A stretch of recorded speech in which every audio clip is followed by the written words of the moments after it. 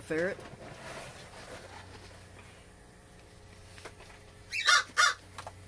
Uh-oh. He knows you're filling his food dish. We interrupt this play session for food.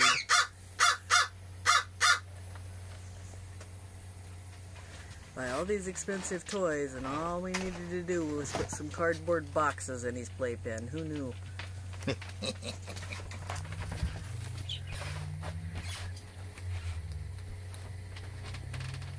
Having a snack.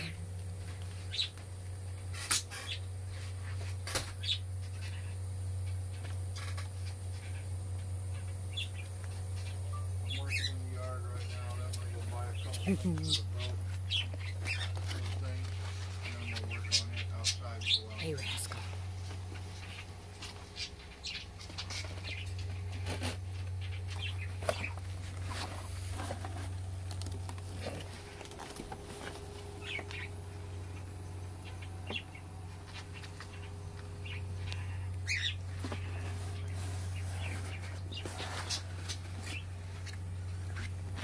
Hey, buddy.